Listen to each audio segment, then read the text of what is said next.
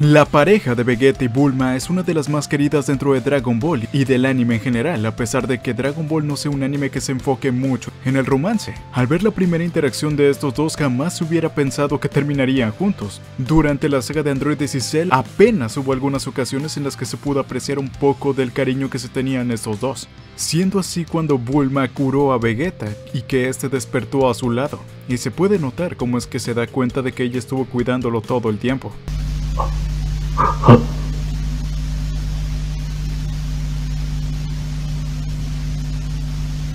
Después, poco a poco la personalidad de Vegeta fue cambiando enormemente gracias a Bulma, desde la saga de Majin Buu, aún más en Dragon Ball Super y hasta Dragon Ball GT. Se reúne en varios momentos donde Vegeta ha demostrado su amor por Bulma y sus hijos.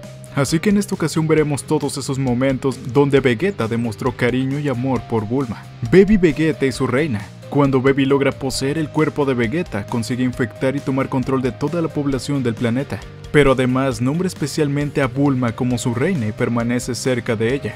La razón es que Baby puede sentir las emociones de los individuos del cual toma el control, y en este caso las emociones de Vegeta, por lo cual incluía su amor hacia Bulma, sin poder evitar dar muestra de ello como lo hacía Vegeta, nombrándola así la reina de los Sufurus o del planeta Sufuru.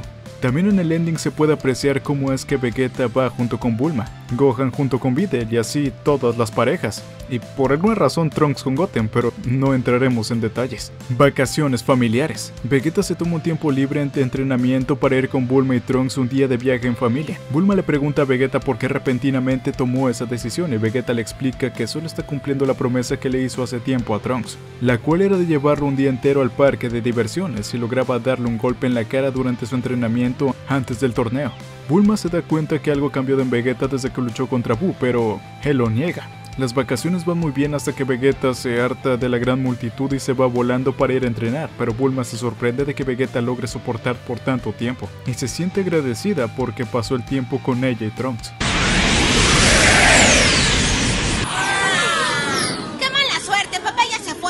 Conociendo como es, creo que ya toleró bastante. Antes de la fusión con Goku, luego de que se le permitiera a Vegeta regresar y enfrentarse a Majin Buu, él rechaza fusionarse con Goku y solo después de que se enterara de que Bulma fue comida por Buu y Trunks absorbido, Vegeta al verse superado por la rabia de haber perdido a su familia termina aceptando fusionarse con Goku ya que pudo entender completamente sus sentimientos por Bulma, y estuvo dispuesto a hacer lo que fuese para acabar con Buu y la muerte de Bulma no fuera en vano.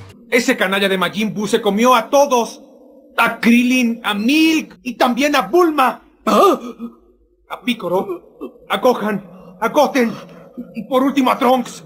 Ese sujeto los absorbió para aprovechar sus poderes. En la segunda ocasión se fusionó fue por la misma razón. Vegeta no quería, ya que quería pelear individualmente contra Sama su fusión. Cuando Gowat le explica que entre los usuarios la duración es menor, entonces promete pelear por Bulma, ya que Trunks le menciona en el manga cómo es que la Bulma del futuro quería regresar para poder ver a Vegeta. Y parecía que le importaba muchísimo más a esa Bulma ver a Vegeta que escapar de Black.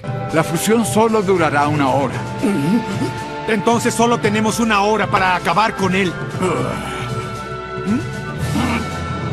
Esperar el nacimiento de Bra.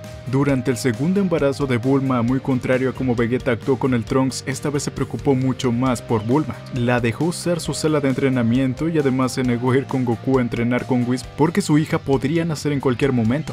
Voy a ir a entrenar al planeta del señor Bills. Dime, ¿quieres venir conmigo, Vegeta? Solo por esta vez diré que paso. ¿Qué? ¿Por qué no quieres ir? ¿Cómo que por qué? Ya viste a Bulma, ¿cierto? De la misma manera que Vegeta rechaza participar en el torneo del poder hasta que Bulma dé a luz, por lo que Whis utiliza sus habilidades para hacer que la bebé nazca. Después, todos se reúnen para celebrar el nacimiento de la bebé, pero cuando quieren cargarla y la hacen llorar, Vegeta se enfurece y se transforma en Super Saiyajin Blue por momentos. ¡Soy Mr. Satan!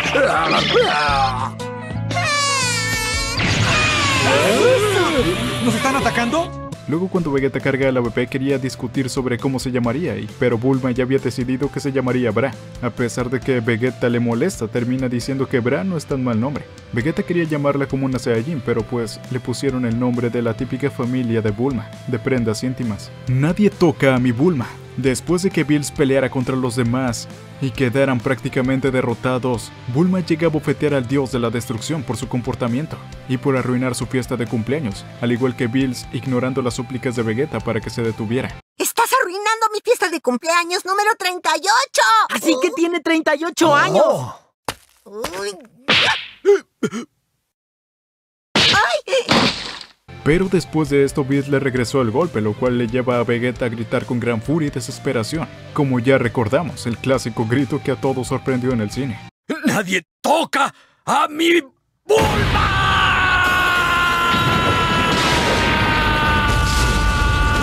y Vegeta atacó a Bills ansiosamente. Esa escena, aunque aunque es breve, se puede apreciar cómo es que más tarde le recuerdan esa reacción que tuvo, poniendo a Vegeta en vergüenza de nuevo. Oye, por cierto, Vegeta, cuando Bills golpeó a Bulma y la tiró, tú te enfureciste y te transformaste en un poderoso Super Saiyajin. Ya me enteré. Ay, Me sentí tan protegida. No, yo no recuerdo haber hecho eso. El sacrificio de Vegeta. Esta es una de las que más se puede recordar, ya que Vegeta admite a Goku que permitió que Babidi controlara su cuerpo para obtener más fuerzas para poder enfrentarse con él y porque sentía un deseo de volverse malvado como antes al darse cuenta que la vida en la Tierra se le estaba haciendo ordinaria. Formó una familia y vivía tranquilamente. Después Vegeta siente un auténtico remordimiento por sus acciones y decide pagarlo luchando contra Majin Buu, por lo que su familia se despide de Trunks y le dice que cuide a su madre. Lo abraza como nunca antes lo había hecho, ni siquiera cuando era un bebé. A pesar de ser mi hijo, no tuve la sutileza de abrazarte ni siquiera cuando eras un bebé. Déjame abrazarte. Ah, papá, pero... Cuando Vegeta se da cuenta que no puede ganar, se sacrifica para eliminar a Buu, despidiéndose emocionalmente de Bulma y Trunks. Adiós, Bulma. Adiós, Trunks. Durante el torneo de la fuerza y también durante Dragon Ball Super se puede apreciar cómo este reúne las esferas del dragón a máxima velocidad para recibir el premio del besito de Bulma. Cuando se enfrenta a Topo, también quien dijo que abandonó todos sus apegos y todo lo que fuese necesario para poder sobrevivir al torneo. Vegeta por el contrario piensa en su familia y declara que nunca se desharía de nada por fuerza y logra derrotar a Topo. También cuando va perdiendo contra Jiren escucha la voz de Bulma en su mente que lo hace levantarse y continuar luchando porque ya saben, en los animes siempre recordar a tus seres queridos te regresa las fuerzas.